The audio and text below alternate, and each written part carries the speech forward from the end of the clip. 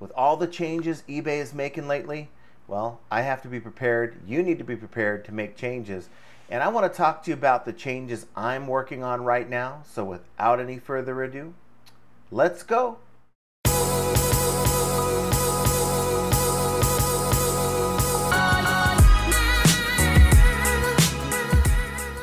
Hello everyone, welcome back to the channel. This is John with Flippin' Ain't Easy. And Sunday night, making this video, working on some things today, and really overall this weekend was pretty good. I mean, Friday didn't start off too well. It ended really good. Saturday was a really good day, and then today, for the most part, I mean, I had $39 in sales. And then what was weird is I had a return that I had received on Friday that prior to doing this video, I decided, you know what, I'm going to get around to uh, checking it out and refunding the item. And within minutes, I'm telling you, within minutes of refunding this item, I got a sale. And then a few minutes later, when I'm trying to record this video, I get an offer for another decent sale. So I don't know if there's a correlation to open return requests and, you know, just maybe eBay slowing you down, at least your traffic. I don't know. Uh, maybe it's just a, here we go again, uh, a sheer coincidence. So, not a very great weekend. Maybe we'll get a couple more sales before the night is done and uh, get some residual sales uh, overnight until tomorrow. And last Monday sort of was a good day as compared to Sunday, so we'll see what happens.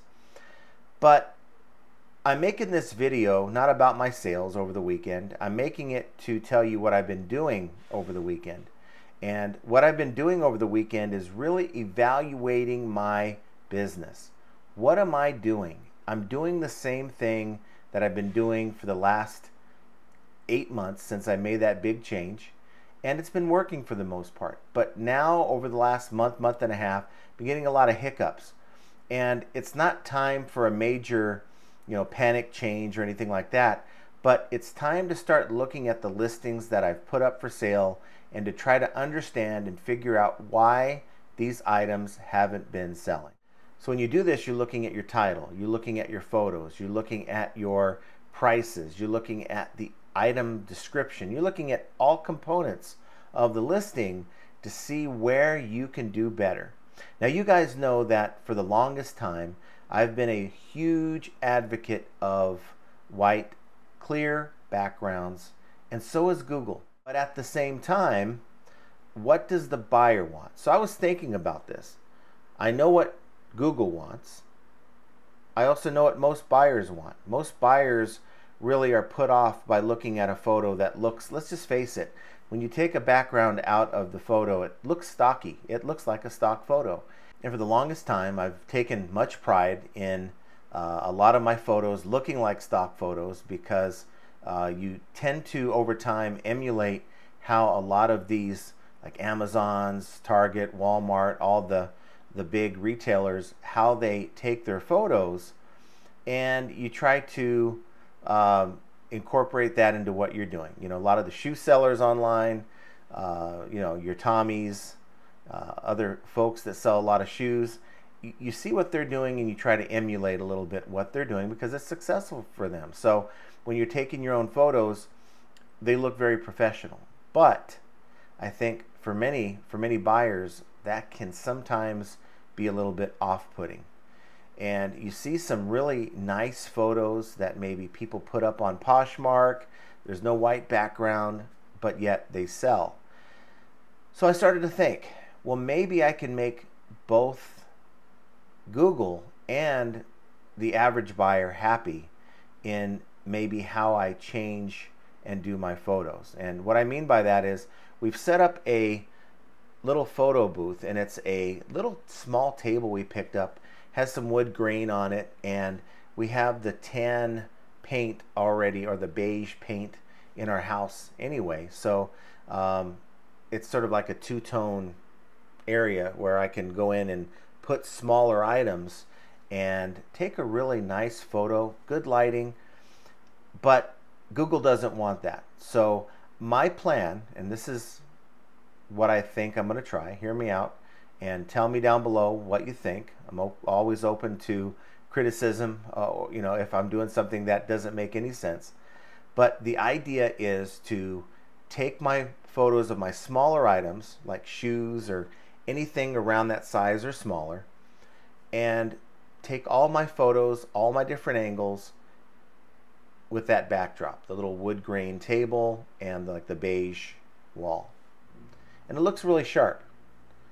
But I'm going to take the photo that I'm going to use for my gallery photo and I'm going to remove the background for that one. Okay. So essentially what I'm going to do is I'm going to have that as my first photo with the background removed. I'm going to take the same exact photo without a background removal, which will be my second photo.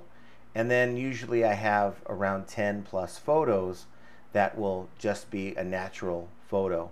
Um, and I think that really looks good. The buyer is probably going to like it. Once they click into my listing, they go past the first image and it'll give them a, a better idea that it's not a stock item. Yes, it looks like I have it in stock. I'm not just putting a random image from a website on here. For me, it is something that I plan on incorporating, going through my older listings and redoing those photos. Because what do I have to lose?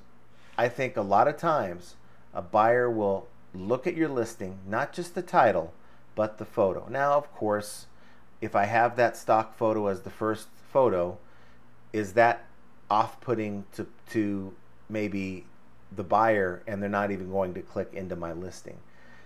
But I don't want to lose the external um, impressions and page views gained from Google shopping as well. So my hope is that that my, my listing is not going to be just stock looking photos from here on out and if a buyer clicks into my listing they'll see that and it won't be so off-putting if that makes sense so that's the changes that I'm going to be making. I'm not going to do it all overnight. I'm going to incorporate that in my new listings and I'm going to spend about an hour a day going through not just the main account but the other account. Now you got to remember the main account has larger boxes and to be honest with you I'm not going to worry about that. I'm not going to worry about the larger items because if I'm being 100% honest with you guys, where I take my photos in my garage, it is just a hot mess. The wall is all screwed up. Um, the tables, you know, the little cover that I have, the white cover to protect my uh, tabletop is really bad in bad shape. So I'm going to utilize the background removal on that those photos almost 100% of the time. It's only on the photos that I'm able to take inside here on the smaller area, but it to me is really ideal uh, for just your smaller average sized item. And that's kind of going to be where I focus my efforts uh, moving forward. So want to know what you guys think. Are you making changes to what you're doing? Maybe your photos? Are you going through your titles? Uh, another thing that I'm also doing is I'm allowing the Bard AI to create my item description. And what's great about it is you just tell it to please make me a optimized item description for this item and uh, please do not make mention of the item's condition. Okay, and then like with shoes, I, I listed about 10 shoes today, 10 pairs of shoes, and all I did was place the brand and the model number. So it's like Nike, it's 12345 dash 100 and it would look it up for me and determine what the shoe was along with a picture uh, of that shoe. So of course I can verify that it's talking about the right shoe. And it did a nice little presentation with bullet points and a little synopsis of the shoe without overhyping the shoe. And, and almost every time I, uh, almost every shoe I did today, it, it really came up with a nice item description, packed with keywords, which is key. So I'm doing those two things right now, and I'm just going to see. Now, I'm not thinking that it's going to, you know, be the uh, magic bullet that changes everything. I mean, my sales aren't that bad as it is, but I'm always looking for improvement. And if you're looking for improvement, you need to start thinking outside the box. Now, maybe by me optimizing the first photo and then leaving the other photos as I take them in my listing, maybe that won't do a darn thing. But I got to tell you, my photos are looking a lot better. I don't know if it's maybe I have better lighting in that room. I don't know if it's just the way I'm taking the photos, the shoes that I'm taking photos of are just kind of popping with that backdrop that I have, but I like it. And I'm going to hope that my buyers like it as well. And you know what? If it doesn't work out, I'll just take those photos and just remove the background and go back to what I was doing. But uh, that's my plan. I want to hear about your plan down below. If you're one of those sellers that, whether you're selling for the last two years or the last 20 years, if you're doing the same thing over 20 years, if you've been selling for 20 years and you're doing the same thing and haven't made any adjustments or any changes, you're probably not doing as well as you, you could, have could be doing if you made those changes. So that's my philosophy, that's my plan. But figuring that all out is yet another example of how flipping ain't easy. And I want you to check out one of these videos that YouTube thinks you're going to like. And in the meantime, check out the live today, 3 p.m. Pacific, 6 p.m. Eastern. And we will see you then and have a great rest of your day.